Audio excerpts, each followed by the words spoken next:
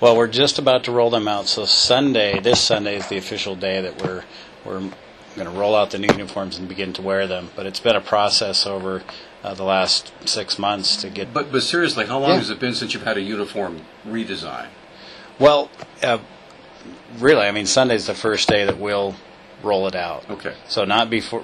I'm I'm just wearing this today to, Okay. to talk to media, but Sure. Sunday is when we'll roll it out. We have.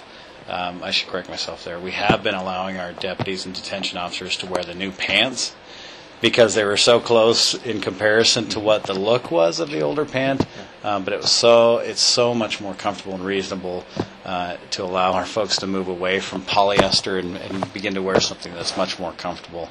Um, but we want to make sure that we rolled it out correctly and, and, and, and rolled it out to our community through the media before we just started wearing them. So that's what we're doing today. But um, it's been a long time coming. I know our staff has been waiting for this, not just during this administration, but previous administrations. It's been discussed with, with sheriffs for uh, many, many years. So, uh, Now, why why are these uniforms so much more comfortable than the old ones?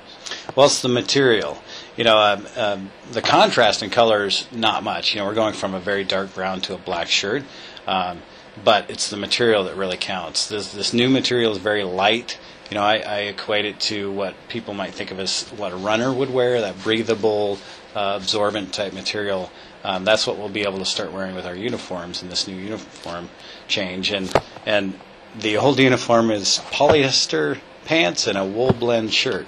And so to stand out in the heat in, in any or any conditions, it can be very uncomfortable. The material is restrictive, where this new material is flexible and and uh, just much much more comfortable.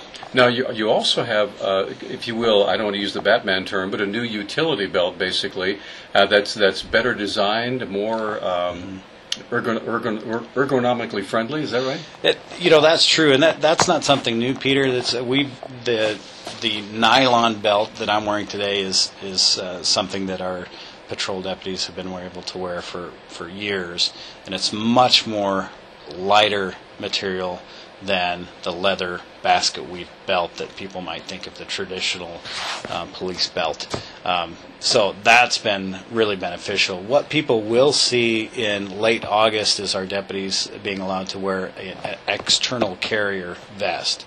So that's the ballistic vest that we all wear. Um, the ones that we've always worn are, are um, a vest that goes underneath the uniform, of course. So deputies will have the option of wearing a ballistic vest that's called an external carrier. And that's very, very beneficial health wise to our deputies who might have back problems. Um, the gun belt that we all wear, have worn for law enforcement officers have worn for decades, um, they're beginning to see that it contributes to quite a few back injuries and back pains and hip problems and things like that. So, this new external carrier will allow some of that equipment to come off of the hip and off of the belt and onto the external vest. Um, so it just displaces some of that weight. Uh, but it's also more comfortable as well. Um, the external carrier will be the same color and look as our uniforms that you see today. So when they put one on, uh, community, our intentions are the community members don't notice the difference. We have the traditional shoulder patches, um, the badge, and the name on the shirts will look. Uh, the name looks a little bit different because it's embroidered. It's not a name plate. Uh, but again, when they put that external carrier on, uh, the color's the same, the material's similar, so it, we hope that people don't notice a big change. It's, and I'll just be very clear, it's important for us that we don't look militarized. Um, that's something that, and, and frankly, one of the reasons it took so long to roll this out. I think Sheriff McDermott wanted to take some time to make sure that we did this right and that um, we maintained a very professional uh, look in our uniforms. Um, so again, uh, we looked at other agencies. We looked at Cascade County, who wears a polo shirt. I mean, that's sort of where we were headed in the beginning. But um, uh, not to say anything negative about the uniforms, but we wanted to make sure that, that it was the look of a uniform. And so this new uniform, you'll see, has a stand-up collar, and the patches are on it and all that. So So basically, what I hear you saying is, is you want your uniform to to uh, retain the authority of a law enforcement personnel, right? Yeah. While still maintaining a community-oriented presence rather than military. Yes, absolutely. And you know, we the the uniform is so recognizable by uh, community members. And, and I'll say that, that they recognize a law enforcement officer, and that's obviously what we want to maintain. But any officer will tell you that uh, when you ask somebody who um, had dealt with a police officer in the past, you say, well, what agency were they from? And they typically don't know. Well, what color was their uniform? Well, I don't know. You know, so I, we really don't know how much impact this will have on the opinions of the community. But uh, I'll say again, it was very important that we just maintain a very professional police appearance. Now, let me ask you this about about uh, uh, how are these paid for? Is it, this is the obviously everybody has to have a uniform. Sure. So, uh, uh, do you folks have to buy your own, or how does that work? Well, our uniform, each deputy has a uniform allowance. Each detention officer has a uniform allowance, and that's ne- negotiated through their contracts. Uh, to roll out a new uniform like this is a, a big project, and of course, money plays into it.